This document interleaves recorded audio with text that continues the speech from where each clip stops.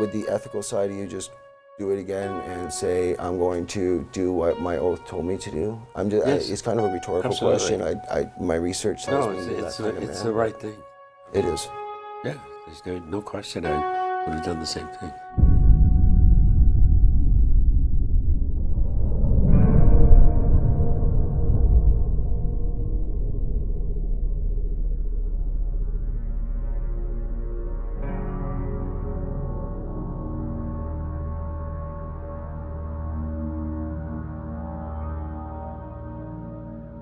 Welcome back to another edition of Cannabis in Canada with Jason Wilcox. I have the pleasure of sitting here today with Dr. Rob Kamermans. Rob, thank you for coming on the show. good to meet you. Now, there is just a long story here. This goes back to 2011 with yourself and uh, Right. and uh, in, in your case. What I'd like to do is roll this back and go back to 2011. Let our viewers get to know who is Rob, who is the doctor Right, behind it. right. Because my research has brought out a doctor that seems to be very uh, ethical in their approach and helped out a lot of people. Right. So you started in Coe Hill. That's right. But my my roots go back to Coe Hill or close to Coe Hill for, well, I don't know, about 45 years or so. There's only like 350 people. Is that correct? That's right. Okay, yeah. So it's a very small town. Right. And you were a surgeon at uh, Sturgeon Falls. Is that correct? Uh, I worked in the emergency room at Sturgeon Falls. Uh, I also worked at several other emergency rooms, and uh, part of my job was working for Health Force Ontario, who supplies emergency physicians to underserved areas, which, you know, uh, Sturgeon Falls is very underserved. So one other thing in my, That's my main day job, should I say? you know. Yeah. one of the things in my research, and it really stands out, is is you didn't graduate high school. No, not until uh, I decided I wanted to go to medical school. I was 38 at the time. 38. And you also became a surgeon. Is that correct? Uh, no, I'm not a surgeon. I'm Not a surgeon, emergency GP? room doctor Okay, emergency room. and uh, GP. Excellent. Right, right. Okay, so now back in 2011, as we know, medical patients couldn't get uh, papers signed, be in the B1 form for the Medical Marijuana Access Regulations or Medical Marijuana Access Division of Health Canada Correct. that issued these forms. Right. Now, in that scenario, I know myself, I was one of those patients and many others that couldn't get signatures. Right. Um, you decided to start to provide that service for patients. Yeah, it wasn't really a decision to do that. I mean, I think in 2009, 2008, one or two people came to me and, you know, they had seizure disorder and they asked if they could access medical marijuana and I didn't see anything wrong with that. You know, like I looked at the guidelines and, and all that and I looked at the form and then they had that little uh, form that, that waiver, you know, The CMPA waiver form. that's correct. Yeah, they did. You know, just Yeah. for our viewers, the CMPA is Canadian Medical Protective Association that insure doctors like Rob, and, uh, and and they actually had a waiver form under the MMAR that cleared doctors of all liability if they signed for patients. But nowhere in, in my research did I ever see that there was a limitation on how many prescriptions a doctor could sign. No, no. They, I mean, at the time is the limiting factor, you know. Uh, but through all this, through when I started to uh, sign in support of applications, my main work was in the emergency room.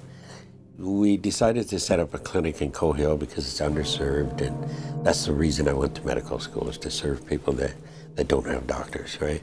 So, you know, the clinic would never stand on its own, but because I worked in the emergency room, I was able to support the clinic, you know. But, but but the people who came to me came to the clinic, so that started to get busier and busier, and you know, as time progressed and I saw more people, it there was just too much. I couldn't see that many people at the clinic. Yeah. So, you know, then we went abroad, so to speak, and we did. You Not really- abroad, but you really stepped out in your small town too by challenging the Ontario Provincial Police and actually writing a letter. I think it was to media about the cover-ups going on in the emergency ward for drunk drivers associated that's to the mayor. And you stepped out and said, "Hey, I ain't, I ain't down for covering this up anymore." that's right. Yeah, that, yeah, I'm glad you mentioned that because that's what started all the trouble, really. That's what. I, yeah, I wanted to loop back because I often wonder why the OPP handled most of the investigation and the arrest when it really, in my own opinion, I think it would be RCMP jurisdiction. I would, I would think so. Yeah, exactly. If if it's involving drugs, I would, you know, exactly. yeah, And uh, in multi provinces. correct. So wh- what was the OPP's real uh, intent into that? So now that, that, of course, just so our viewers understand, now when a doctor steps up and says, "I'm not going to cover up for this anymore," um, there's you know, certain people that are being privileged in the town because they know the mayor or they're connected with certain people. And the doctor was asked, Rob was asked to be quiet. And he just simply said, I ain't down for that. Again, this lends to the ethics of what this story is about the ethics behind the hype. There's the mainstream media hype, there's the court, and then there's the ethics that underlie everything. And that's what I'm glad we're here to talk about today. Right, right. So some of these 4,000 patients, how many would you think just came to Coe Hill alone to get signed up before going on the road? Oh, uh, well, that, that, that was ongoing. I would say, you know, in total, I signed over 4,000 people, and I would say maybe half came to the clinic and half came came to outward bound sites, you know. Maybe a little bit more than half, but about 50 50. And at the time you signed, there was 13,000 licenses in Canada, yeah. and you signed for 4,000. 4,000. So you were like the main doctor in Canada that was helping medical patients. And in the Health Canada's own estimates, 500,000 medical patients in this country. Heaven forbid a doctor actually help us. You swore that, that right. Hippocratic oath. Yes. You swore to uphold and protect yes. the ethical interests of your patients. That's exactly right. You believe that's what you've done, sir? Oh, absolutely. I, I was I was doing the right thing. I was always doing the right thing. You know, I mean, we're obligated as physicians to look out for our patients, do the best for our patients. You know, and if patients come to us with a concern, in in in the majority of cases, it was uh, people who had chronic pain. You know, people who have chronic pain are generally put on OxyContin, Percocet, which is a dangerous drug. Uh, but the studies have shown that if you use uh, marijuana in conjunction with uh, opioids, that uh, you, you decrease the need for opioids. So, for instance, if you need 10 Percocets a day, but you use marijuana, you can get by with six Percocets a day.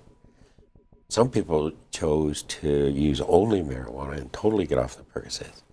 Some people got off the Percocets before they even bothered with. So this is like harm reduction 101, which is this is now mainstream. Exactly. They're, they're now looking at this harm reduction in in uh, yeah in drug facilities and everything else. Exactly. And uh, and I'm glad you were on top of this, you know, way back. Statistics show that uh, 20,000 people die annually from opioid overdoses, accidental overdoses. There's suicides and those different things. Uh, so in Canada, that equates to about 2,000 people in Canada that die from opioid overdoses. Um, in and they've done a 10-year study or 12-year study, which shows that uh, in the places where marijuana is legal or accessible, that the deaths from opioids has decreased by 25%. So we could be saving 500 lives a year in Canada, 5,000 lives when you when you look at all of North America. And this is in, in an area where there's a big concern right now. You know, there always was a concern in my practice, but you know, finally they seem to have caught up to that.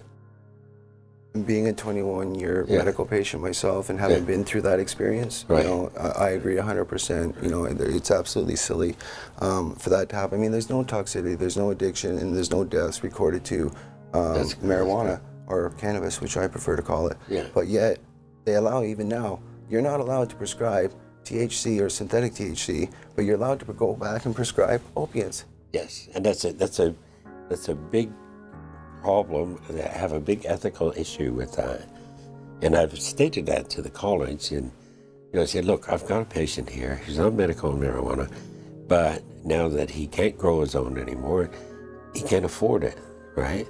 So he's coming to me and he wants Percocet and OxyContin. And, if you know, I, I have to say, I need to deal with this pain. So the only option I have is to give him uh, OxyContin and Percocet, right? So how, how no, this, I have to ask this because this really drives to the heart of me as a medical activist yeah. for patients. It drives right. to the heart of me because I know you took an oath and yeah. I know you want to uphold the Hippocratic Oath. And I have a copy of it here. I'd read it out for our viewers. I think we'll just post it up.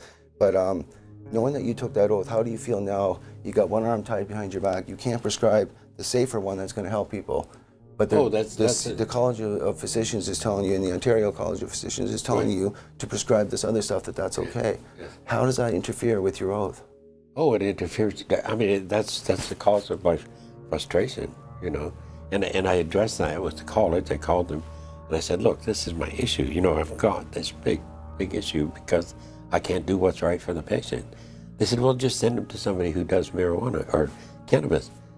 I said, "Yeah, well, there's hardly anybody that'll do it, and now that it's a prescription, they can't afford it, you know."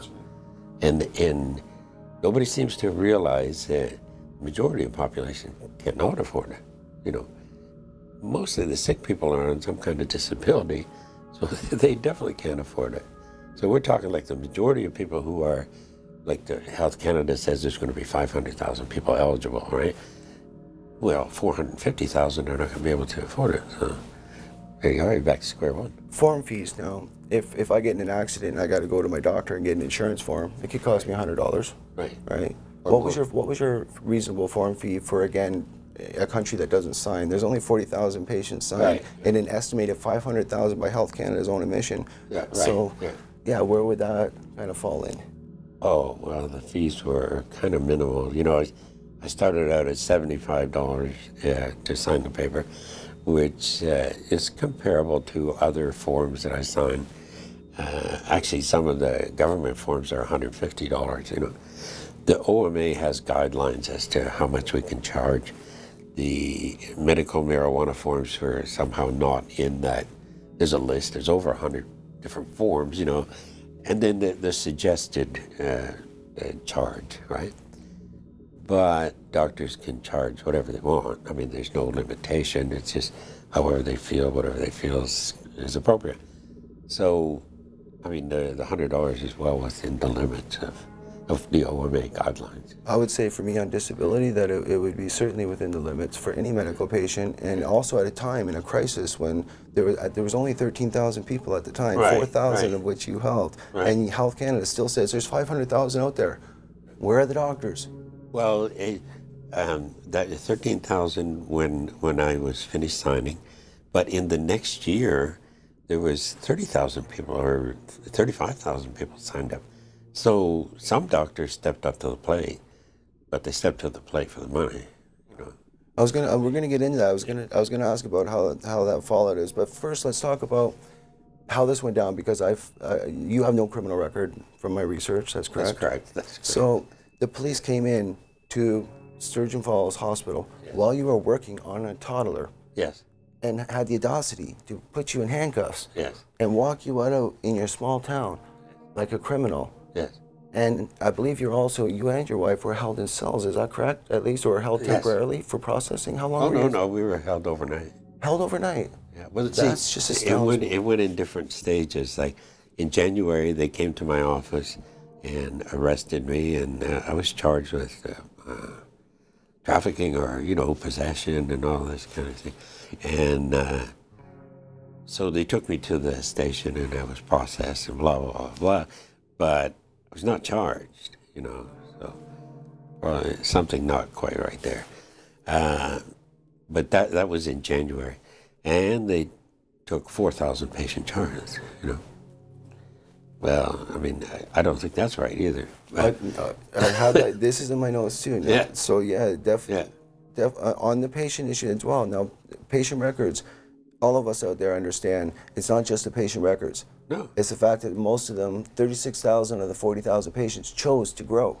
that's exactly. So right. by taking those records, all those officers now have the addresses of people's grows and added the stress levels to those patients. Furthermore, 4,000 patients of yours couldn't renew their licenses That's and were the- thrown into peril as a result of this. And to me, it's just, it's more of that top-down hypocrisy. And I'm wondering, you know, in my own, from my own research, I can't see why. I know, I know that there's at least one patient that died as a result of it. Yeah. So was it? A direct result of that. I Direct mean, result, yeah. I'm not going to get into the specifics, but you know, Absolutely. at least one. Yeah. Well, we've had a lot that have died just in the process of the coalition's battle that Right, were taken right. with the court that are just stressed out and uh, just have given up on the And that's, whole. that's a distressing part because we, we're here to help people. We're here to save lives, you know. And, uh, and it just, you can't do it. Well, come on. Absolutely. Now, your wife Mary and yourself So you were both. Oh, uh, they, okay, to further from, you know, they took the chart. eh, That was in January. Then in uh, in August of that year, so that's when I was arrested. You know, and uh, at that time, uh, Mary was also well. She actually turned herself in. You know, and but we were kept overnight in jail, down to you know waiting to get bail and all those kind of things. rubber sandwich in the morning, whole routine, cold Yeah, coffee. Actually, actually, Bangkok wasn't so bad. They, they treated me nicely, but yeah, the other places were not. So yeah, that, that I just find that I find that very unfortunate. Then on top of that, they issued increasingly strong bail restrictions. oh, that, yeah, yeah. Can you maybe expand on that for us? Well, uh, initially the bail conditions were that we couldn't drive our vehicles, we couldn't, uh, and we had to go to the police station twice a week or once a week each, but on different days, you know, and that we couldn't travel anywhere, that we had to give up our passports and green cards and all our documentation. But gradually that got uh, taken, uh, you know, uh, that got, that eased up. So now we're able to travel to the U.S. where I work, and but in the process of you know the arrest, uh, in the emergency room, I lost my job, obviously. Yeah. So I lost my uh, my ability to make enough money to support the clinic. You know, so uh, so then we just had the clinic, and, and I needed to work somewhere. So Now, of those 4,000 patients, how many of them was the CMPA waiver form used on? Well, I, th- I think they all had the CMPA waiver form. They all they all had that waiver I, form. I'm pretty sure. I mean, there might have been a few missing. But, Well, you I know, know, yeah. but I mean, even Yeah. even if just a few, even if only a few that had it, I guess it begs the question. My understanding is the CMPA, Canadian Medical Protective Association, is there to help doctors when they're in trouble. Correct. Have they helped you with your legal fees? No, they withdrew their support, They withdrew their support, which is unheard of. and you're still an active practicing uh, Yes. doctor. So, Yes. Yeah, because I don't know enough about that framework, I guess. I guess I don't know enough either. Uh, uh, Alan Young is, a, is an attorney in Toronto. He's Alan's big on, big on social justice and those kind of things. And uh, he helped me with my appeal. And, uh, and they still said, no, we're not going to cover you. Uh, but they'll cover all kinds of bad people, you know. And it's like, Yeah, the guy's selling oxy by the by the by the truckload, you know, out the back you know, door. people with don't- sexual assault business and stuff. But you know, yeah. So they withdrew their support, and even with with Alan's support of my appeal, they still withdrew it.